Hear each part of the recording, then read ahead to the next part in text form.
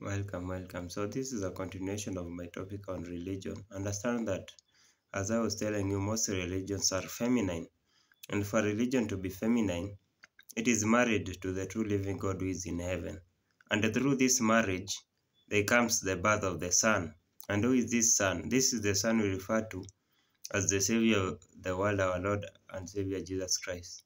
So ensure that in any religion denomination that you are in, at the end of the day, understand that your pastor is the midwife of the child you're trying to birth in your life.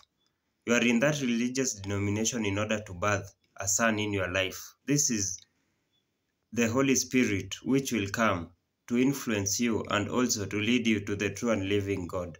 So ensure that your midwife will lead you to the birthing of a new down in your life and not evil, which will come to destroy you. Thank you.